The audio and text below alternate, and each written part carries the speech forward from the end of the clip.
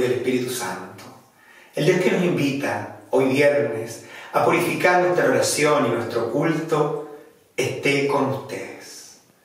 Del Evangelio según San Lucas. Jesús, al entrar al templo, se puso a echar a los vendedores diciéndoles, está escrito, mi casa será una casa de oración, pero ustedes la han convertido en una cueva de ladrones.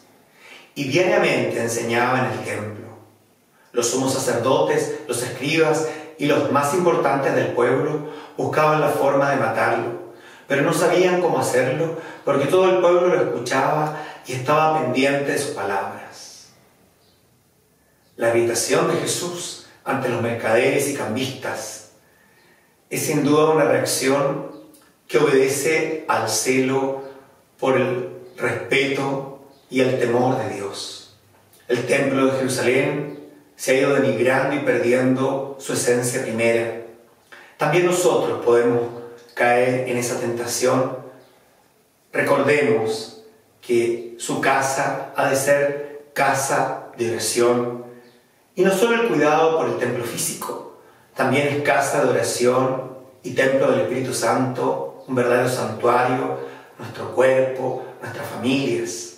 Por eso, con un sentido extensivo, quisiéramos purificar siempre nuestra oración y nuestro culto, pero purificarlo también no con un ritualismo externo, sino purificar desde lo más íntimo las motivaciones para la oración y los espacios que dedicamos al culto.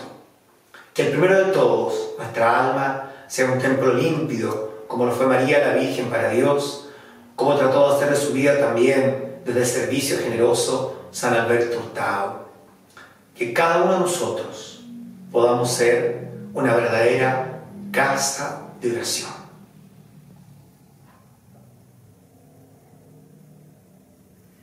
Creo, Jesús mío, que estás real y verdaderamente en el cielo y en el santísimo sacramento del altar. Te amo por sobre todas las cosas y deseo vivamente recibirte dentro de mi alma mas, no pudiéndolo hacer ahora sacramentalmente, ven espiritualmente a mi corazón. Y como si ya te hubiese recibido, te abrazo y me uno del todo a ti. Señor, no permitas que me separe de ti. Que el Dios que nos enseña a orar les bendiga en el nombre del Padre y del Hijo y del Espíritu Santo.